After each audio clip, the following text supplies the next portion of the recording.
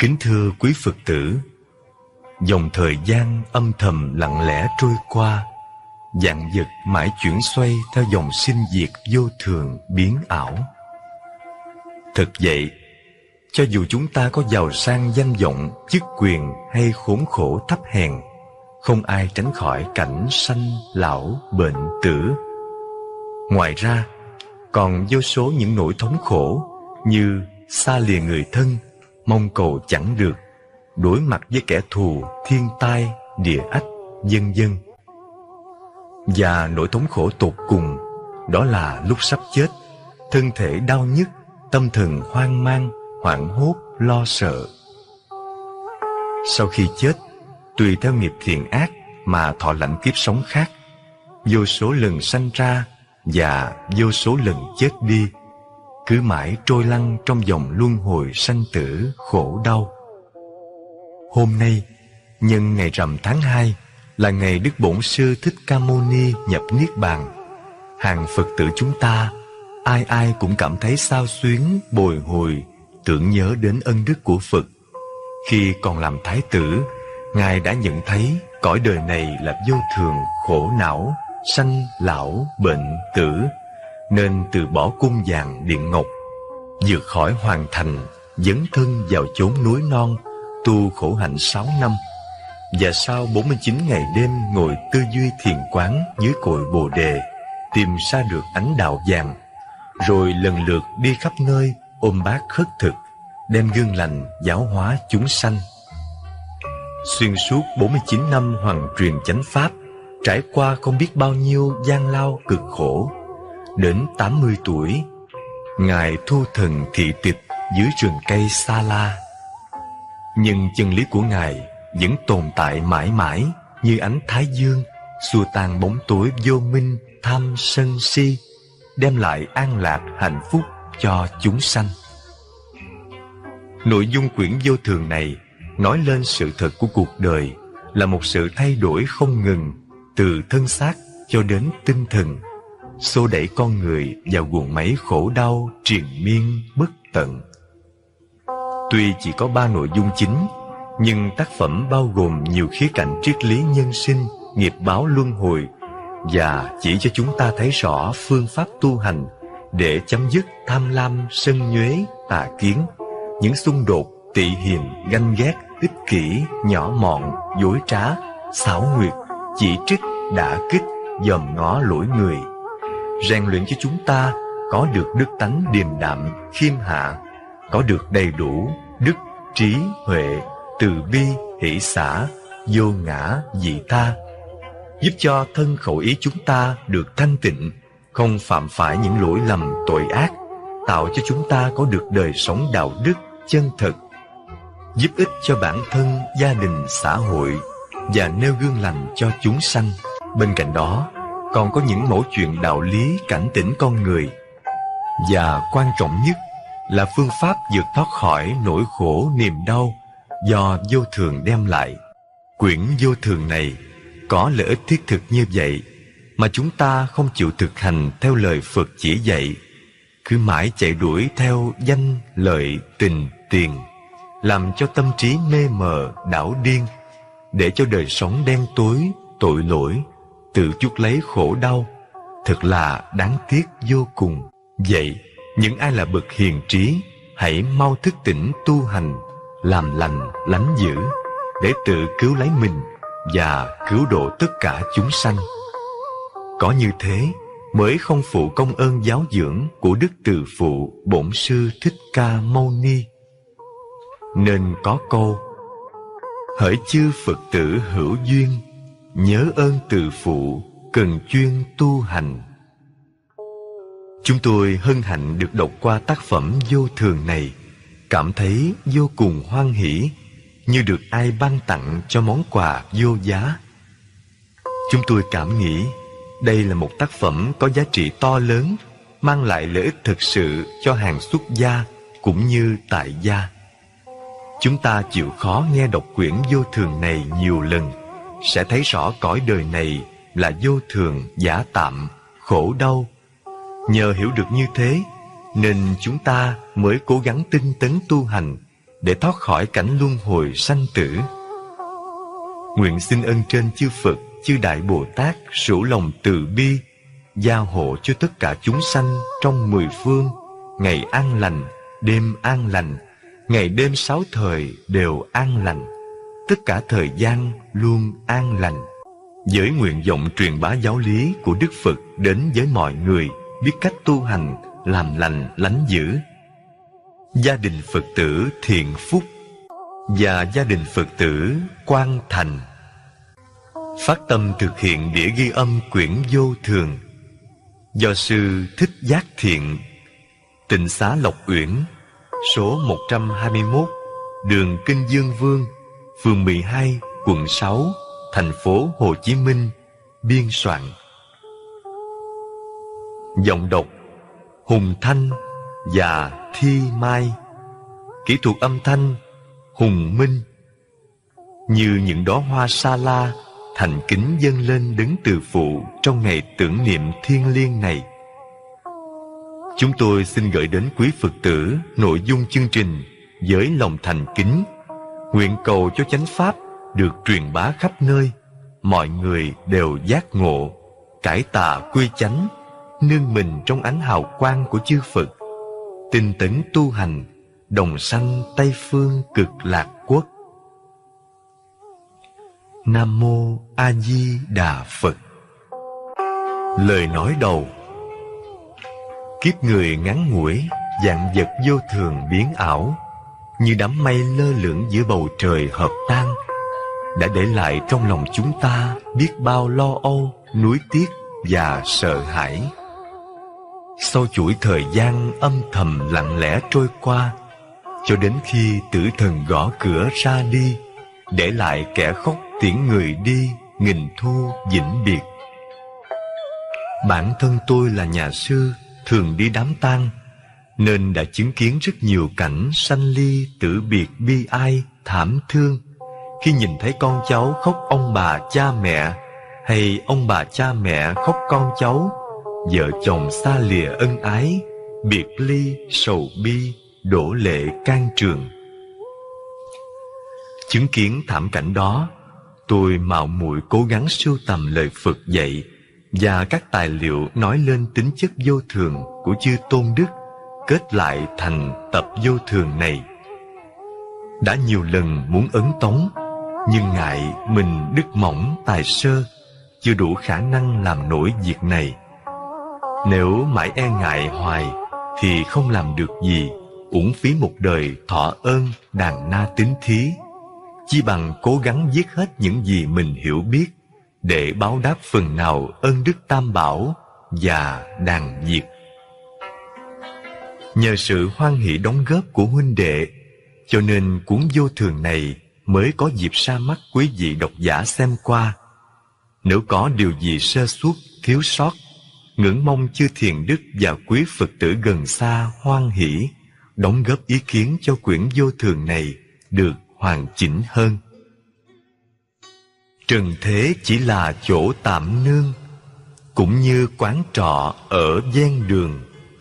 Mỗi người là khách dừng chân tạm, rồi sẽ đi về chốn diễn phương. Nam mô Bổn sư Thích Ca Mâu Ni Phật. Dẫn nhập Ánh sáng giác ngộ của Đức Phật đã soi sáng và sưởi ấm tâm linh của vô lượng chúng sinh trong đêm dài vô minh. Đã gần 26 thế kỷ, nhưng lời dạy của Ngài vẫn còn vang vọng đâu đây. Thế gian là vô thường, cõi nước mong manh, bốn đại khổ không, năm ấm vô ngã, luôn luôn sinh diệt biến đổi, giả dối không thực nếu quan sát được như thế Thì thoát khỏi sanh Định nghĩa về vô thường Vô thường là thế nào? Quý Phật tử hãy tư duy lời Phật dạy Vô thường có nghĩa là không bền chắc Từ trạng thái này biến đổi qua trạng thái khác Và tan hoại theo định luật Thành trụ hoại không để quý Phật tử hiểu thế nào là thân vô thường, tâm vô thường, hoàn cảnh vô thường. Chúng ta hãy cùng nhau quan sát, suy nghiệm thì sẽ biết ngay. Thân vô thường. Nói đến thân vô thường Nó sanh diệt từng giây từng phút. Sau chuỗi thời gian âm thầm Đẩy đưa chúng ta tiến dần vào cõi chết. Khoa học cũng đã chứng minh các tế bào trong cơ thể con người Luôn luôn thay đổi Làm cho ta mau lớn, chóng già rồi chết đi. Mỗi giây phút trong cơ thể đều có sự sanh diệt không ngừng. Nói đến vô thường trong Kinh Kim Cang, Đức Phật dạy. Tất cả các pháp trong đời Cũng như giấc mộng khác gì huyễn thôi. Tựa hồ bọt nước dòng khơi Mảnh thân bào ảnh chút hơi xương tàn. Ngày qua chớp nhoáng lẹ làng Phải nên suy xét hợp tan đó là. Thật vậy cái thân con người chẳng khác nào như tuyết giá cành cây, xương đầu ngọn cỏ. Mới thấy đó rồi lại mất đó. Đứng trước thảm trạng ấy, thái tử Tất Đạt Đa nghiệm thấy thân này là tứ khổ, nên Ngài xuất gia đắc đạo, hiệu là Thích Ca Mâu Ni, đem giáo pháp cứu độ chúng sanh, đưa họ vào cõi Niết Bàn, bất sanh bất diệt. Thưa quý Phật tử, cái thân của ta có gì là thật đâu. Tất cả không ai thoát khỏi cảnh sanh, lão, bệnh, tử. Từ khi còn nằm trong bụng mẹ đã là khổ rồi. Bốn bên bao bọc đen tối, chẳng khác nào ở chốn ngục tù đầy nhơ uế.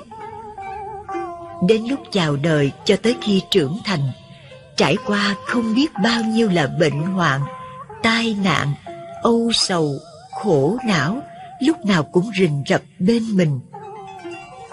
Tuổi về chiều lại càng khổ hơn, da nhăn, má hóp, răng rụng, tóc bạc, thân thể gầy yếu, đi đứng khó khăn, đau ốm triền miên, khổ không tả xiết, lần hồi bước vào cõi chết trong giờ phút hấp hối, tâm thần rối loạn, dẫn dơ, kinh sợ vô cùng. Rồi lần mòn đến lúc lâm chung, từ giả cõi đời tạm bợ theo đường tội phước. Dẫu cho có nhiều phương thuốc ngừa trước, ngăn sau, cũng không thoát khỏi luật tuần hoàn. Nói đến cái chết trong kinh Tứ Thập Nhị Chương, kể rằng Thuở Phật còn tại thế, một hôm Ngài cho gọi chư tỳ kheo đến hỏi rằng Mạng người sống được bao lâu? Vị thứ nhất thưa rằng Mạng người sống được một trăm năm. Vị thứ hai nói sống được bảy mươi năm Còn vị thứ ba bảo vài tháng, vài ngày, vân vân. Sau cùng có một vị đứng lên thưa rằng Bạch Thế Tôn, mạng người sống chỉ có một hơi thở. Phật khen rằng Ông hiểu và nói được như vậy mới thực là người giác ngộ. Thật vậy, chúng ta sống được là nương vào hơi thở. Hãy thở ra mà không hít vào là ôi thôi. Ô hô, tam thốn khí tại thiên ban dụng, nhất đáng vô thường, dạng sự hư. Hơi vừa dứt, mạng người ôi cũng dứt nào của cải, vợ con, tài vật đều bỏ lại. Nhắm mắt rồi cũng nắm tay không. Bất luận hàng dương giả hay thứ dân, giàu nghèo, sang hèn, ai ai rồi cũng phải chết. Danh mà chi, lợi để mà chi, bèo mây bọt nước, có ra gì? Sao đường danh lợi hai tay trắng cuối lớp ân tình nấm mộ xanh. Vậy mà thiên hạ cứ nghĩ mình sống ngoài muôn đời trên vũ trụ, nên họ cứ mãi giành giật, cấu xé lẫn nhau. Ai cũng tham giàu sang quyền tước. Nhưng cho dù có kho vàng núi bạc, lộc cả quyền cao, gác tía lầu son, ngọc ngà châu báu, tất cả đều bị định luật vô thường đào thải con nghĩa lý chi mà thiên hạ lại nở đang tâm sát phạt, tranh giành, chung quy rồi cũng trở về với cát bụi. Nói đến đây, tôi nhớ đến mẫu chuyện thuở phật còn tại thế. Một hôm, ngài cùng tôn giả tích xa đứng trên một ngọn núi gần biển. Phật hỏi, này tích xa ông có thấy trước mắt ông là gì không? Tôn giả tích xa thưa rằng bạch thế tôn con chỉ thấy trước mắt con toàn là biển nước mênh mông. Nhân đó đức phật dạy cũng vậy nước mắt của chúng sanh khóc vì những nỗi khổ của mình và đưa tiễn người thân đi vào cõi chết từ vô thị cho đến nay nhiều hơn là nước của đại dương còn xương thịt chất chồng cao hơn cả núi thái sơn. Một hôm khác đức phật cho gọi các tỳ kheo đến và hỏi sắc là thường hay vô thường? Chư tỳ kheo đáp sắc là vô thường. Phật lại hỏi tiếp thọ tưởng hành thức là thường hay vô thường là khổ hay lạc? Bạch thế tôn là khổ. Vậy các ông có nên chấp cái thân này là tự ngã của ta vật chất là của mình không bạch thế tôn chúng con không nên chấp vì thân mạng của cái vật chất đều là vô thường giả tạm. Phật dạy. Các ông nên nhớ từ hiện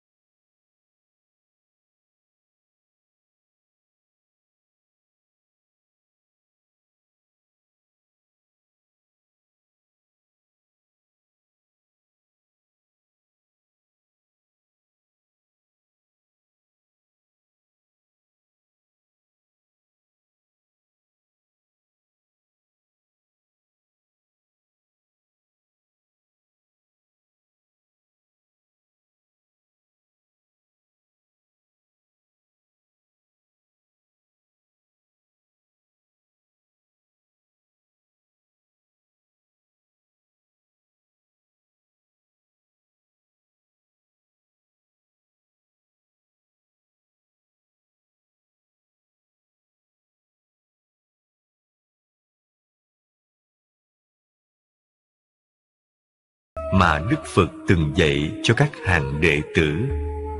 Đời người chẳng khác nào như con thuyền lạc giữa phong ba. Nước mắt thế nhân là đại hải bao la.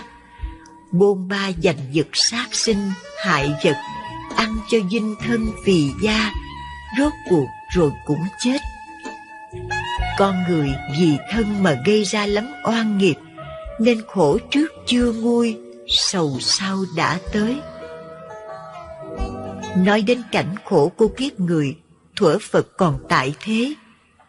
Một hôm, vua Ba Tư Nặc cùng bá quan văn võ xa giá đến ý kiến Đức Phật và thưa rằng Bạch Thế Tôn, con là vua Ba Tư Nặc, cai trị nước Câu Tác La, có bốn binh chủng hùng mạnh. Hôm nay, con đến viếng thăm Đức Thế Tôn. Vua Ba Tư Nặc nói như vậy là nhằm để khoe với Đức Phật. Ông là vị vua hùng mạnh nhất thời đó, để cho Đức Phật khen ngợi. Nhưng ngược lại, Đức Phật không khen mà còn hỏi rằng Này Đại Dương, giả sử như ở phương Đông, Tây, Nam, Bắc có bốn ngọn núi cao chọc trời đang lăn về đây. Mỗi khi di chuyển đến đâu là nghiền nát người và dạng vật đến đó. Thử hỏi đại dương lấy cái gì ra để chống ngăn nó?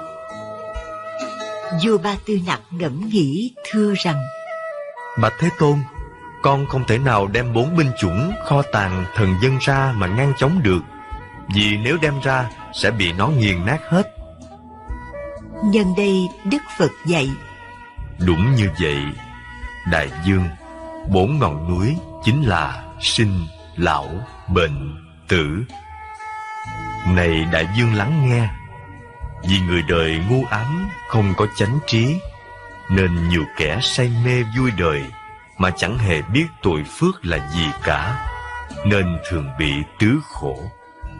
Một, những nỗi khổ về sanh Khi còn nằm trong bụng mẹ, hài nhi chịu rất nhiều nỗi khổ.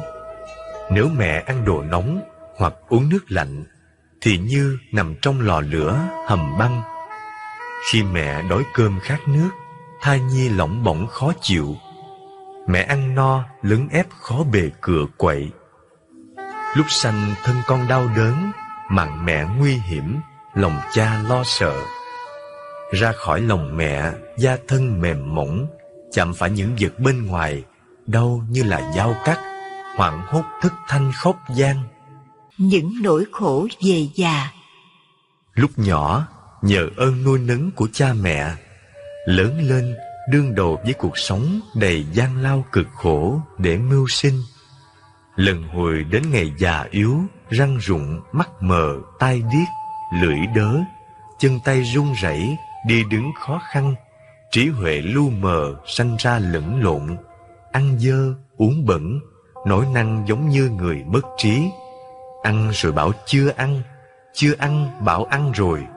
Có khi lại chửi bới, nói năng nhảm nhí, làm trò cười cho lũ trẻ. ba Những nỗi khổ về đau Thân người do bốn đại là đất, nước, gió, lửa hiệp thành. Nếu như bốn đại không điều hòa thì bệnh sanh khởi.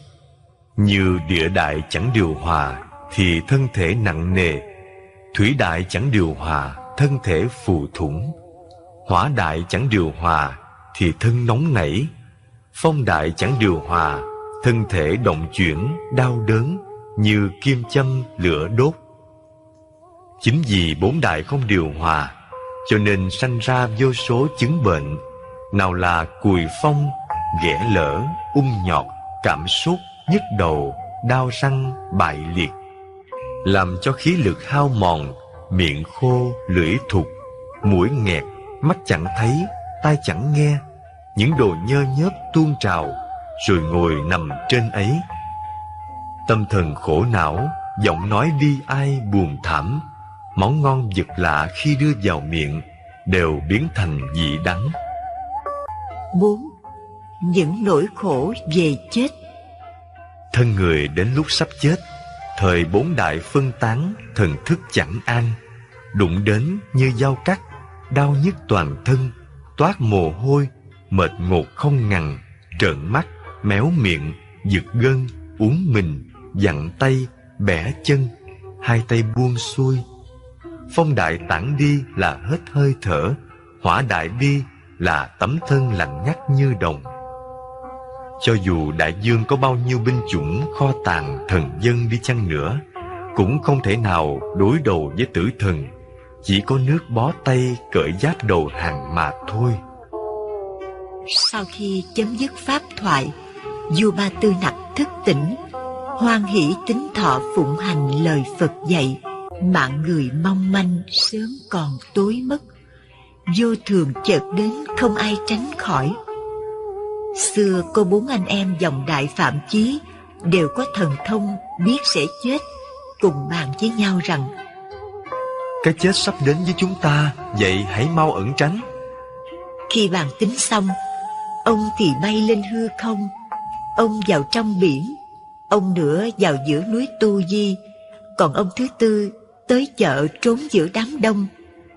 Nhưng đến ngày chết, Thời bốn ông đều mạng vong. Nếu ai biết suy nghĩ đạo lý vô thường, Khổ không vô ngã này, Khéo tu tập theo lời Phật dạy Thời thoát khỏi sanh, lão, bệnh, tử Ưu bi khổ não Đạt đến đạo quả Niết Bàn vậy. Kinh xuất diệu. Dầu trốn ở hư không Giữa biển khơi núi rộng Không một nơi nào cả Tránh khỏi được tử vong. Kinh Pháp Cú. Trong Kinh A Hàm Phật dạy Tất cả không ai tránh khỏi sanh, lão, bệnh, tử. Vậy mà có lắm người khi thấy ai đó già, bệnh, chết Lại sanh tâm khinh khi, nhòm gớm. Nhưng họ lại quên rằng Rồi đây mình cũng già, bệnh, chết. Nhớ lại thuở Phật ở Trúc Lâm tịnh xá Có một thầy tỳ kheo mắc bệnh lở lói khắp cả thân thể. Máu mũ thường chảy ra, Ai thấy cũng sợ hãi không dám lại gần. Nhìn thảm cảnh ấy, Đức Phật đến chỗ vị tỳ kheo, Tự tay trông nom, Săn sóc Cho đến khi bình phục. Đó là tấm gương từ bi của Phật. Chúng ta là đệ tử Ngài, Không thể dững dưng, Làm ngơ trước sự đau khổ của nhân loại Mà không ra tay cứu giúp. Chăm sóc cho người bệnh Một là ta cảm nhận thân này bất tịnh để nhắc nhở trên đường tu tập. Hai là tích lũy phước lành cho mai sau. Ngược lại, thấy người già yếu, bệnh hoạn mà hủy bán, khinh thường, khạc nhổ làm ngơ. Sau này kẻ đó bị quả báo, khi bệnh không ai ngó tới, mọi người tránh xa.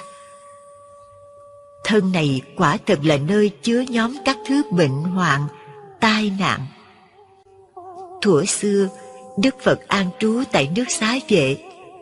Lúc đó có bốn vị tỳ kheo ngồi dưới gốc cây cùng bàn với nhau. Trên đời này cái gì khổ hơn hết? Vị thứ nhất nói, Đói khát là khổ hơn hết, vì những khi đói khát, thường ốm mắt mờ, lòng dạ chẳng yên, thật là khổ. Vị thứ hai than, Sân hận mới là cái khổ lớn nhất. Mỗi khi nổi giận là chẳng kể thân sơ, và lắm khi làm hại mình, hại người nữa. Vị thứ ba bảo, Lo sợ thật là khổ không gì bằng. Mỗi khi sợ hãi thì tim đập mạnh, tay chân run rẩy, đứng ngồi chẳng yên, rất nguy hiểm đến tính mạng. Vị cuối cùng nói, Cái khổ trong đời không gì hơn dâm dục. Mỗi khi sắc dục bức bách thì không chỗ nào là không nghĩ tới. Cũng nhân đó rồi bị nguy thân mất mạng, nó báo hại hơn cả. Vì bất đồng ý kiến nên họ cứ tranh luận mãi. Đức Phật biết được, Ngài liền đến hỏi. Các ông đang tranh luận việc gì? Các tỳ kheo đứng lên làm lễ rồi trình bày những điều đang bàn luận. Đức Phật bảo, những điều các ông vừa bàn luận Đó chỉ là thứ khổ ngọn ngành. Chưa hiểu hết ý nghĩa của chữ khổ Cội gốc của cái khổ trong đời Không gì hơn là có thân. Tất cả sự đói khát Nóng bức, sân hận, kinh sợ, sắc dục Thân là gốc của khổ. Nguồn tai họa Cũng vì thân mà người ta lao tâm mệt trí Lo sợ đủ điều vì nó mà chúng sinh gây thù chuốc oán Tàn hại lẫn nhau. Chấp ngã buộc rằng Sanh tử không dứt Cũng đều do nơi thân này mà ra. Muốn xa lìa đau khổ trong hiện tại và vị lai Thì chúng ta phải nhiếp tâm theo đạo chánh Không khởi những vọng tưởng sai lầm Tinh tấn trì giới, thiền định Có trí tuệ mới mong đạt được niết bàn an vui, tịch diệt Bây giờ Đức Thế Tôn nói kệ Nóng không gì hơn dâm Độc không gì hơn giận Khổ không gì hơn thân Vui niết bàn hơn hết. Bởi vậy Những ai là bậc hiền trí Phải kiếp mau tự lợi Bằng cách nương về tam bảo Huân tập những tài sản của bậc thánh. Đó là thất thánh tài. Một là tính Hai là giới Ba là tàm Bốn là quý năm là đa văn, sáu là trí tuệ, bảy là xả ly. Tính là phải vững niềm tin nơi tam bảo. Phật là đứng toàn năng toàn giác, đáng để cho chúng ta tôn thờ tín ngưỡng. Pháp có công năng diệt trừ phiền não, tham sân si. Tăng là người đại diện cho Phật, duy trì mạng mạch Phật Pháp, làm lợi ích an lạc cho chúng sinh. Giới là hàng rào ngăn chặn các điều ác. Tàm quý là biết xấu hổ những tội lỗi của mình ăn năn cải sửa các lỗi lầm để trở nên người chân thiện mỹ. Đa văn nghĩa là ngoài việc mưu sinh ra quý phật tử nên dính chút ít thời gian, nghe kinh học pháp để làm hành trang trên bước đường tu tập.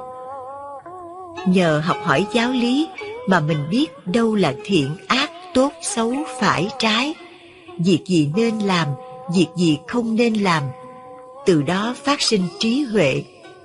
Nhờ có trí huệ mới xả ly hết những kiến chấp sai lầm, dụng vặt, thẳng tiến trên con đường giải thoát niềm tin và giới hạnh. Hổ mình thẹn với người. Đa văn thí trí huệ. Đây là bảy món báo. Nhờ tin nên giữ giới, thường làm việc bố thí. Không luận nam hay nữ, trọn đời không đói nghèo. Kinh pháp cú. Có nhiều người nhờ căn lành đời trước gặp được thiện hữu tri thức khuyên nhắc quy y giữ giới tụng kinh niệm phật bố thí phóng sinh để tích lũy phước đức về sau. Họ lại trả lời rằng tuổi tôi còn trẻ, đời còn dài, tương lai tươi sáng đang chờ đón, dạy gì phải tu cho uổng phí tuổi xuân. Chính vì thế nên tổ xưa khuyên bảo rằng Mạc đại lão lai phương niệm Phật Cô phần đa thị thiếu niên nhân Nghĩa là chớ đợi đến già mới niệm Phật, mồ hoang lắm kẻ tuổi còn xanh.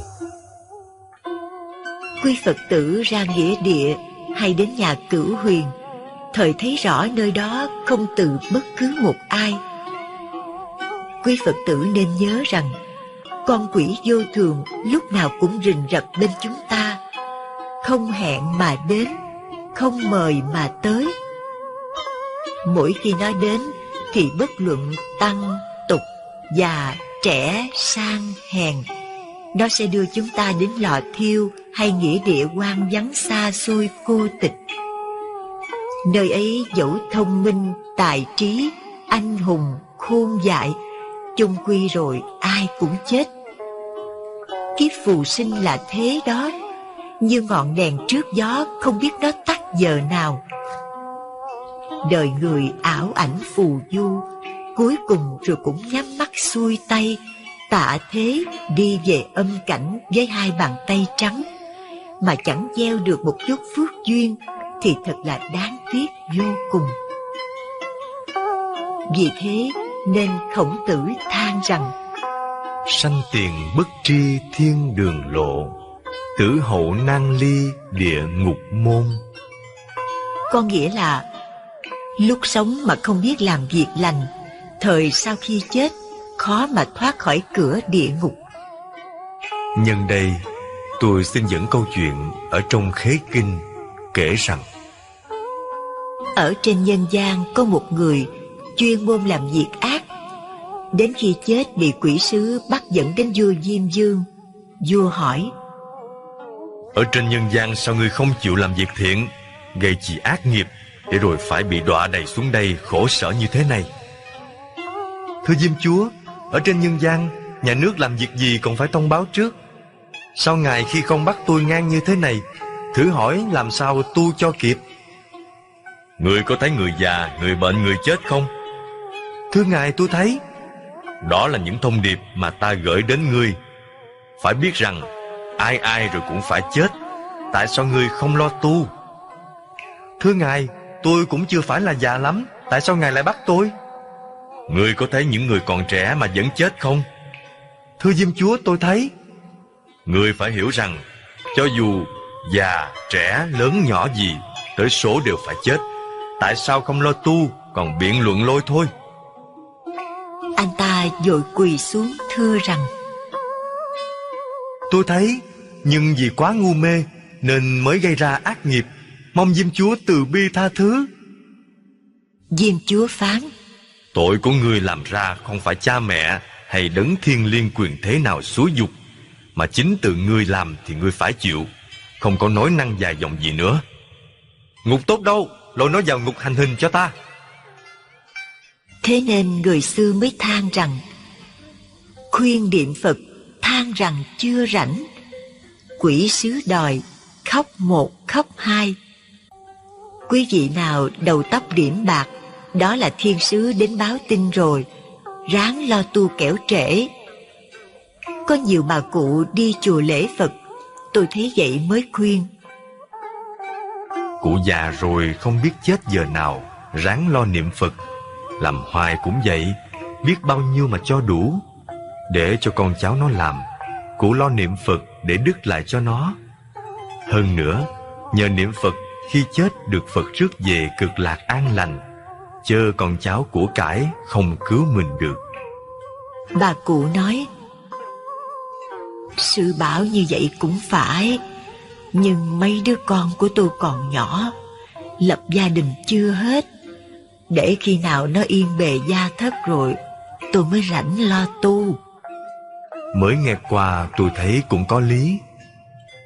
Nhưng khi con nó lập gia đình xong Không bao lâu Lại sinh ra cháu. Phận làm cha mẹ thật là khó xử. Còn nó bận đi làm không ai giữ cháu.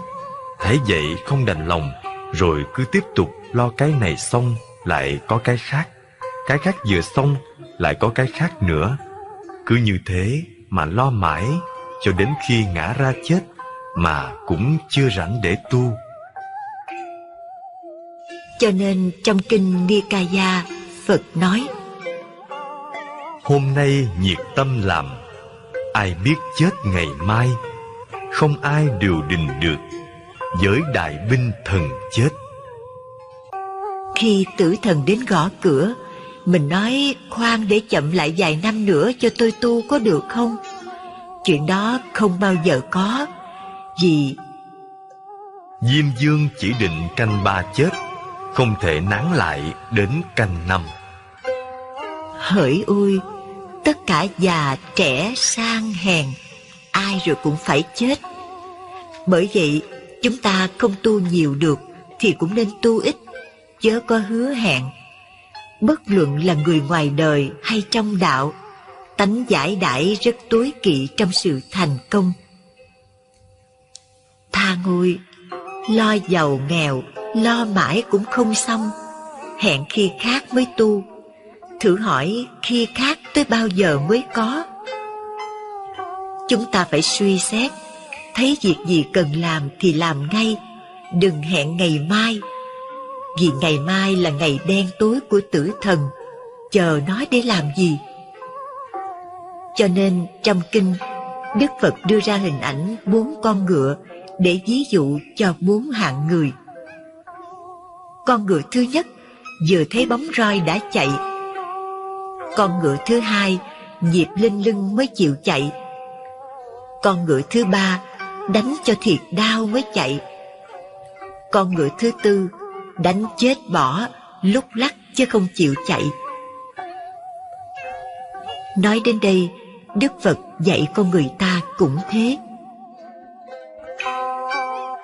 Con ngựa thứ nhất chỉ cho người trí, vừa nhìn thấy trong xóm có người chết, là họ lo tu liền giống như con ngựa thứ nhất vừa thấy bóng soi liền chạy Con ngựa thứ hai chỉ cho ai đó thấy người thân trong gia đình chết mới phát tâm tu.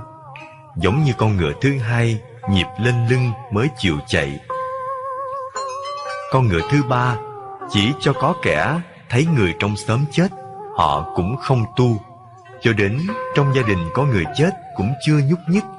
Đến khi chính bản thân họ bị bệnh thập tử nhất sinh, khi đó mới cảm nhận xác thân này là vô thường giả tạm, mới chịu phát tâm tu.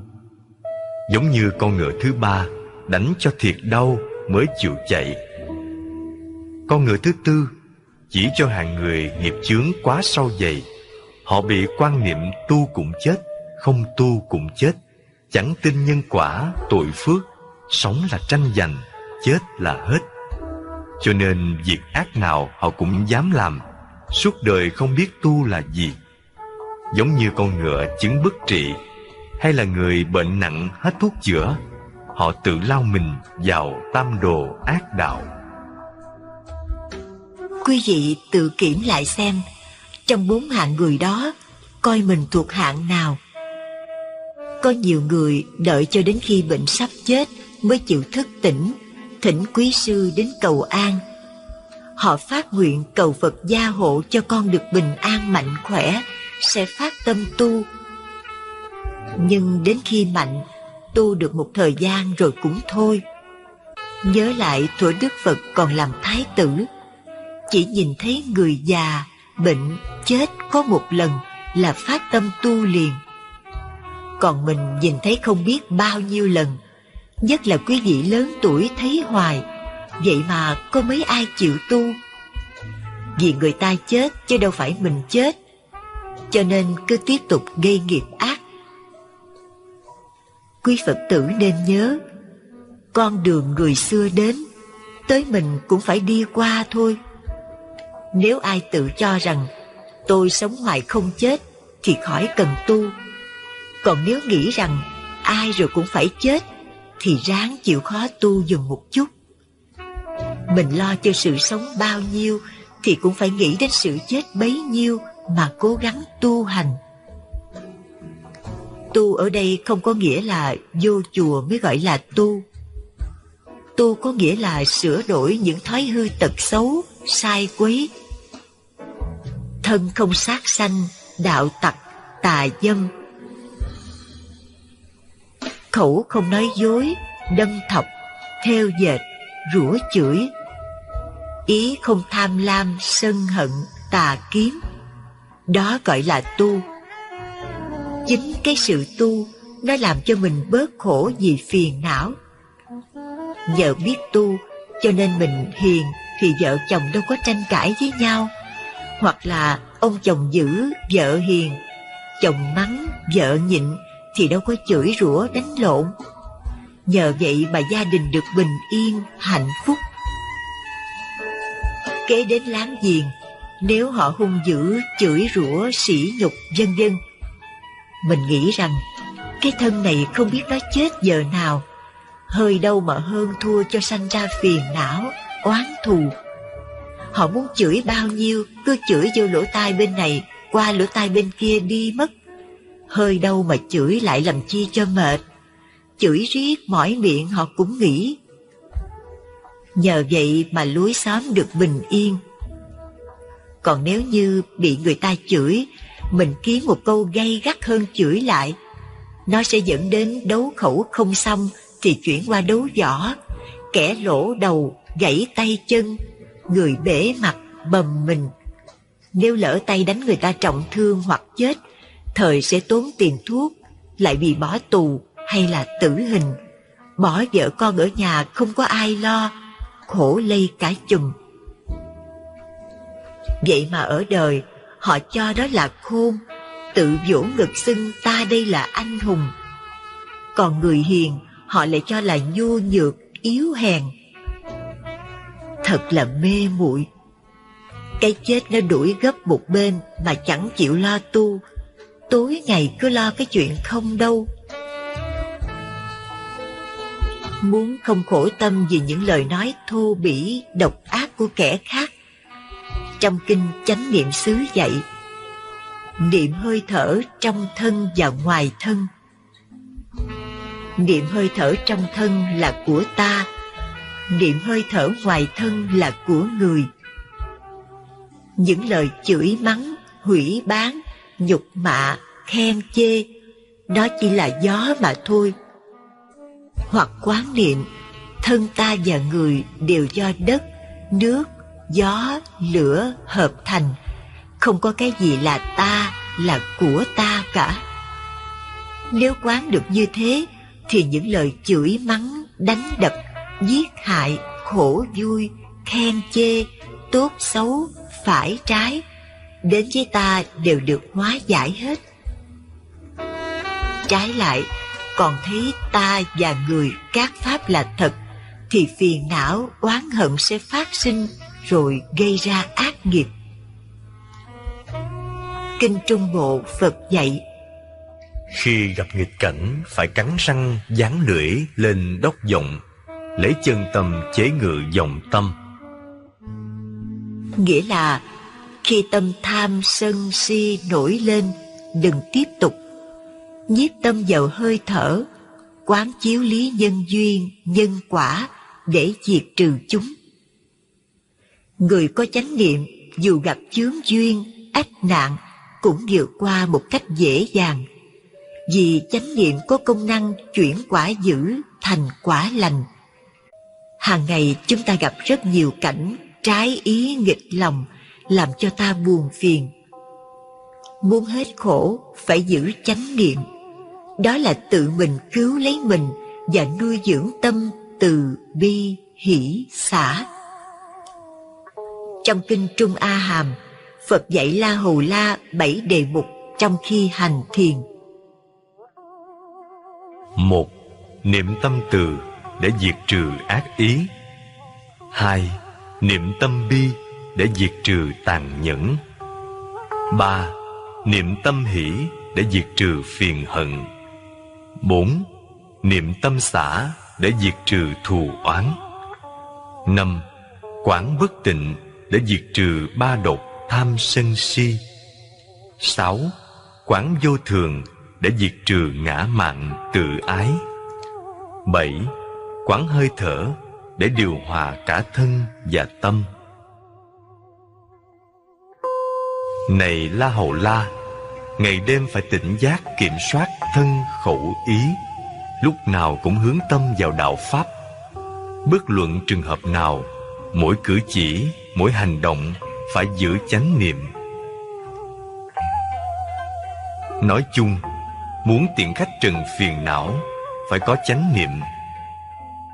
Chú tâm vào hơi thở, khách tham sân si đến mình lấy tâm từ bi hỷ xả tiễn nó đi, thì thân tâm ta sẽ được an lạc, giải thoát.